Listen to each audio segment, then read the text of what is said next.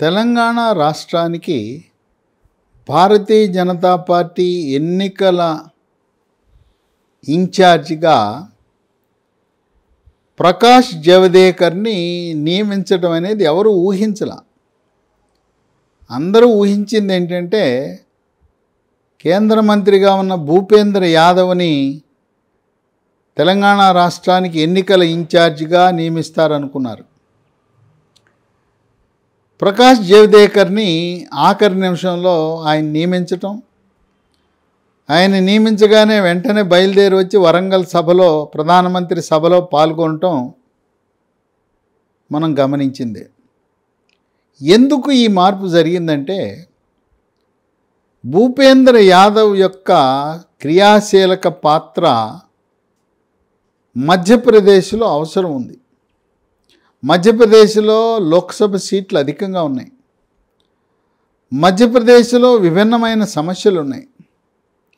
దాన్ని సమర్థవంతంగా ఆయన భూపేంద్ర యాదవ్ అయితే ఒక కొలికి తేగలడనే నమ్మకంతో విశ్వాసంతో భూపేంద్ర యాదవ్ను మధ్యప్రదేశ్కి పంపించారు. ఎందుకంటే మధ్యప్రదేశ్లో ఈ శాసనసభ ఎన్నికలు డిసెంబర్ జనవరిలో జరుగుతూ ఉన్నాయి. అక్కడ గెలుపు అనేది చాలా కీలకం బీజేపీకి. ఎందుకంటే అధికారంలో ఉన్న రాష్ట్రాన్ని కోల్పోతే నైతికంగా భారతీయ జనతా పార్టీ శ్రేణులు కుంగిపోతారు. అందువల్ల మధ్యప్రదేశ్లో అధికారాన్ని నిలబెట్టుకోవటానికి కేంద్ర హోంమంత్రి అమిత్ షాకి అత్యంత సన్నిహితంగా ఉండే భూపేంద్ర యాదవ్ ఈ ఇద్దరు అమిత్ షా భూపేంద్ర యాదవ్ కూడా ఉత్తరప్రదేశ్లో కలిసికట్టుగా ఒక టీముగా పనిచేసి ఉత్తరప్రదేశ్లో రెండుసార్లు విజయం సాధించటానికి తగు పాత్ర పోషించడం జరిగింది. సునీల్ బన్సల్ ముందు నుంచి ఊహించిందే. సునీల్ బన్సల్ ఉత్తరప్రదేశ్లో క్రియాశీలకంగా ఆయన అడుగులు వేసి ఈయన కేంద్ర హోంమంత్రి అమిత్ షాకి ఆంతరంగికుడు. ఈ సునీల్ బన్సల్ ఒక మిస్డ్ కాల్ ఇస్తే కేంద్ర హోంమంత్రి అమిత్ షా ఆయనే ఫోన్ చేస్తాడు. వాళ్ళిద్దరు కూడా కెమిస్ట్రీ కలుస్తుంది. అందువల్ల అమిత్ షా తెలంగాణ రాష్ట్రాన్ని దత్తత చేసుకున్నాడు. పట్టుదలతో ఉన్నాడు. తెలంగాణపై బీజేపీ జెండా ఎగరేయాలి. ఇరవై ఇరవై నాలుగు సెప్టెంబర్ పదిహేడున సికింద్రాబాద్ పెరేడ్ గ్రౌండ్లో ఆయనే వచ్చి తెలంగాణ విమోచన దినోత్సవాన్ని తెలంగాణకు స్వాతంత్రం వచ్చిన దినాన్ని ఘనంగా నిర్వహించాలనే దృఢ సంకల్పంతో ఉన్నాడు అమిత్ షా. ఇటువంటి సమయంలో ప్రకాష్ జవడేకర్ ఎందుకు ఎంపిక చేశారనేది కొంతమందికి ఆశ్చర్యం కలిగిస్తూ ఉంది. రెండు వేల పద్నాలుగు ఎన్నికలప్పుడు అప్పుడు ఉమ్మడి తెలుగు రాష్ట్రం. ఆంధ్రప్రదేశ్ తెలంగాణకు కలిపి ఎన్నికలు జరిగినాయి. అప్పుడు ప్రకాష్ జవదేకర్ని ఆంధ్రప్రదేశ్ తెలంగాణ రెండు రాష్ట్రాలలో ఎమ్మెల్యే ఎంపీ సీట్లు కేటాయింపు విషయంలో ఆయనకు ఆ బాధ్యతలు ఇచ్చారు. అంటే చర్చల్లో తెలంగాణలో చంద్రబాబు నాయుడుతో చర్చలు జరిపి అప్పుడు జనసేన పోటీ చేయలే. జనసేన మద్దతు మాత్రమే పార్టీ మద్దతే. కనుక ప్రతిరోజు నిరంతరం తెలుగుదేశం పార్టీతో చంద్రబాబు నాయుడుతో చర్చలు జరిపి తెలంగాణలో బీజేపీ ఎమ్మెల్యే సీట్లు లోక్సభ సీట్లు అక్కడ ఎమ్మెల్యే లోక్సభ సీట్లు. ఆయనకి ప్రకాష్ జవదేకర్కి మంచి అనుభవం ఉంది. తెలుగు రాష్ట్రాల్లో శాసనసభ సీట్లు లోక్సభ సీట్లు ఇక్కడ ఉండే నాయకులు వాళ్ళ యొక్క పటిమ పట్టుత్వము వాళ్ళ యొక్క రాజకీయ చరిత్ర. అందువల్ల రెండు వేల పద్నాలుగులో ప్రకాష్ జవదేకర్ ఒకసారి ఎన్నికల నిర్వహణ బాధ్యతను చేపట్టాడు కనుక మళ్ళీ ఆయన్నే పంపిస్తే అక్కడుండే రాజకీయ పరిస్థితులు రాజకీయ నాయకులతో ఉన్న పరిచయము గతంలో ఎవరికి సీట్ ఇచ్చాము ఎవరు గెలిచారు ఎవరు ఓడారు ఎవరు అబ్ అభ్యర్థిత్వానికి దరఖాస్తు పెట్టారు నియోజకవర్గాలు మార్పులు చేర్పులు ఏ నియోజకవర్గం అయితే అనుకూలము ప్రతికూలము అనే విషయాలన్నీ కూడా ప్రకాష్ జవదేకర్కి మంచి అవగాహన ఉన్నది. అందువల్ల ప్రకాష్ జవదేకర్ని తెలంగాణ రాష్ట్ర ఎన్నికల ఇన్ఛార్జిగా పెట్టారు.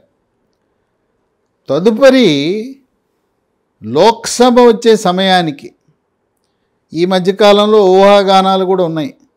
తెలంగాణ రాష్ట్ర ఎన్నికలు మిగతా నాలుగు రాష్ట్రాల ఎన్నికలతో పాటు మరో నాలుగు అసెంబ్లీ ఎన్నికలు ఆంధ్రప్రదేశ్ అరుణాచల్ ప్రదేశ్ ఒరిస్సా సిక్కిం లోక్సభ తొమ్మిది శాసనసభలకు లోక్సభకు కలిపి జనవరి ఫిబ్రవరిలో ఎన్నికలు జరగవచ్చనే ఊహాగానాలు ఉన్నాయి. ప్రకాష్ జవదేకర్కి ఆంధ్రప్రదేశ్ పట్ల కూడా మంచి అవగాహన ఉన్నది. కనుక ప్రకాష్ జవదేకర్ని రెండు తెలుగు రాష్ట్రాలకి ఎన్నికల ఇన్ఛార్జిగా నియమించిన భవిష్యత్తులో ఆశ్చర్యం లేదు. ప్రస్తుతం తెలంగాణ శాసనసభ ఎన్నికలు జరిగే వరకు ప్రకాష్ జవదేకరే ఎన్నికల ఇన్ఛార్జి. ఆయనకి సహా ఇన్ఛార్జిగా సునీల్ ఆయన్ని సునీల్ బన్సల్ని పెట్టడం జరిగింది. మరి ఇప్పటికే ఉన్న తరుణ్ చుగ్ ఉన్నారు జాతీయ ప్రధాన కార్యదర్శి. అరవింద్ మీనన్ అని ఉన్నారు. అలాగే శివప్రకాష్ కూడా వీళ్ళు తరచూ వచ్చి తెలంగాణ వ్యవహారాలను సమన్వయపరచడం పర్యవేక్షించడం జరుగుతుంది. ఇక మీదట కేవలం ఇద్దరే పర్యవేక్షిస్తారు. ప్రకాష్ జవదేకర్. ప్రకాష్ జవదేకర్తో పాటు సునీల్ బన్సల్. అయితే మరొక అంశం కూడా ఆసక్తికరమైన అంశం. రెండు వేల పద్నాలుగులో ప్రకాష్ జవదేకర్ తెలుగు రాష్ట్రాల ఎన్నికల ఇన్ఛార్జిగా వచ్చినప్పుడు అప్పట్లో భారతీయ జనతా పార్టీ ఉమ్మడి రాష్ట్ర అధ్యక్షుడిగా ఎవరు ఉన్నారంటే కిషన్ రెడ్డి ఉన్నాడు. కనుక కిషన్ రెడ్డికి ప్రకాష్ జవదేకర్కి ఇద్దరికీ కూడా కెమిస్ట్రీ బాగా కుదురుతుంది. వాళ్ళిద్దరూ కూడా ఒకే వేవ్ లెంత్లో ఒకే ఆలోచన విధానంతో పైరవీలకు తావివ్వకుండా సమర్థులకు సీట్లు ఇవ్వటంలో వాళ్ళిద్దరూ కూడా సిద్ధహస్తులు. అందువల్ల కిషన్ రెడ్డికి ప్రకాష్ జవదేకర్కి ఉన్న సత్సంబంధాల వల్ల కూడా జా జేపీ నడ్డా జాతీయ అధ్యక్షుడు వాళ్ళిద్దరినీ ఒక టీమ్గా చేస్తే బాగుంటుందనే ఆ సంకల్పంతో ప్రకాష్ జవదేకర్ నియామకం జరిగింది. ప్రకాష్ జవదేకర్ చాలా నిబద్ధత కలిగిన వ్యక్తి.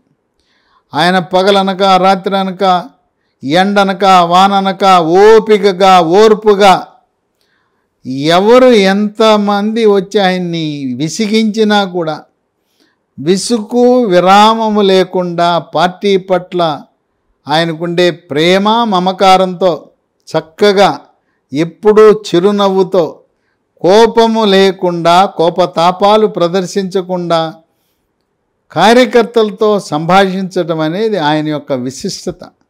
అందువల్ల భారతీయ జనతా పార్టీ తెలంగాణలో విజయబావుట ఎగరవేయటానికి ముగ్గురు కీలకమైన వ్యక్తులు కాబోతున్నారు. కేంద్ర హోంమంత్రి అమిత్ షా ఆయన దత్తత తీసుకోవటం. మరి ఎన్నికల ఇన్ఛార్జిగా ప్రకాష్ జవదేకర్ సహ ఇన్ఛార్జిగా సునీల్ బన్సల్. ఎక్కువ మంది ఉంటే సమన్వయ లోపం వస్తుంది. ప్రతి ఒక్కరూ వచ్చి సమీక్ష చేయటం పర్యవేక్షణ చేయటం వల్ల ఉండే నాయకులు గ్రూపులు గ్రూపులుగా విడిపోయే అవకాశం ఉన్నది కనుక ఇంతమంది అవసరం లేదు ఇద్దరు చాలు అనే నిర్ణయానికి జాతీయ నాయకత్వం వచ్చింది. బహుశా తరుణ్ చుగ్గు శివప్రకాష్ అరవింద్ మీనన్ లాంటి ప్రముఖ నాయకులకు వేరే రాష్ట్రాల్లో బాధ్యతలు అప్పగించే అవకాశాలు ఉన్నాయని భావిస్తున్నారు. ప్రకాష్ జవదేకర్ ఆయన గతంలో కేంద్ర అటవీ శాఖ పర్యావరణ శాఖ మంత్రిగా ఉన్నప్పుడు పలుమార్లు తెలంగాణ ఆంధ్రప్రదేశ్ రాష్ట్రాలు పర్యటించడమే కాకుండా ఆంధ్రప్రదేశ్ తెలంగాణ రాష్ట్రం అంటే ఆయనకి ప్రత్యేక ప్రేమ. ఏ ఫైలు ఆంధ్రప్రదేశ్ తెలంగాణ నుంచి వెళ్ళినా కూడా అత్యంత ప్రాధాన్యత ఇచ్చి ఆ అటవీ శాఖ అనుమతులు ద- మంజూరు చేయటంలో ఆయన ప్రత్యేక శ్రద్ధ తీసుకుని తెలుగు ప్రజలతో ప్రకాష్ జవదేకర్ అవినాభావ సంబంధం ఏర్పరచుకున్నాడు. ఆయన తెలుగులో మాట్లాడలేకపోయినా మనం మాట్లాడుకుంటే మనం మాట్లాడుకునేది ఆయనకు అర్థమవుతుంది. ఆ స్థాయికి తెలుగు భాష పట్ల కూడా ఆయన కొంత అవగాహన పెంచుకోవటం అనేది విశేషము. అటువంటి నిబద్ధత కలిగిన ఒక సీనియర్ జాతీయ నాయకుడిని తెలంగాణ రాష్ట్రానికి ఎన్నికల ఇన్ఛార్జిగా పెట్టడం అనేది బీఆర్ఎస్ పార్టీకి గడ్డుకాలమే పోటీ రెండు పార్టీల మధ్య జరుగుతుంది. బీఆర్ఎస్ బీజేపీ మధ్య పోటీ. ఇప్పటి వరకు ఏ ఎన్నికలో కూడా డిపాజిట్ దక్కని దుబ్బాకులో డిపాజిట్ కోల్పోయారు. మునుగోడులో డిపాజిట్ కోల్పోయారు హుజూరాబాద్లో డిపాజిట్ కోల్పోయారు. గ్రేటర్ హైదరాబాద్ ఎన్నికల్లో అడ్రస్ లేకుండా పోయిన కాంగ్రెస్ పార్టీ అది మూడవ స్థానానికే పరిమితం. ప్రధాన పోటీ తెలంగాణలో బీఆర్ఎస్ బీజేపీ మధ్యలోనే. తెలంగాణ తెలుగు ప్రజలు ఆంధ్రప్రదేశ్ తెలుగు ప్రజలకు ఒక సెంటిమెంట్ ఉంది. గత అరవై సంవత్సరాల యొక్క రాజకీయ చరిత్రని మనం పరిశీలిస్తే తెలుగు ప్రజలు ఎప్పుడు కూడా రెండు టర్ములు దాటి పది సంవత్సరాలు దాటి ఏ రాజకీయ పార్టీకి కూడా మూడవసారి అధికారము కట్టబెట్టలేదు. రెండు సార్లు అయినాక చాలు చాలు నీ పాలన దిగు దిగు అని దింపేశారు. అది తెలుగుదేశం పార్టీ అయినా కాంగ్రెస్ పార్టీ అయినా పది సంవత్సరాల తర్వాత పార్టీని మార్చి నూతన ప్రభుత్వాన్ని ఏర్పరిచారు. హ్యాట్రిక్ కొట్టిన చరిత్ర ఏ రాజకీయ పార్టీకి గత అరవై సంవత్సరాలలో తెలుగు రాష్ట్రాల్లో లేదు గనుక బీఆర్ఎస్ పార్టీ హ్యాట్రిక్ కొట్టడం మూడవసారి అధికారంలోకి రావటం అసంభవం అని చెప్పి విశ్లేషకులు భావిస్తున్నారు. ఏది ఏమైనా? ప్రకాష్ జవదేకర్ సునీల్ బన్సల్ ఈ తెలంగాణ రాష్ట్రానికి బీజేపీ ఇన్ఛార్జిగా రావటం అనేది తెలంగాణ రాష్ట్ర బీజేపీ సమన్వయంతో నాయకులను ఒకే తాటి మీద నడిపించడానికి ఎంతగానో దోహదపడుతుందని విశ్లేషకులు భావిస్తున్నారు.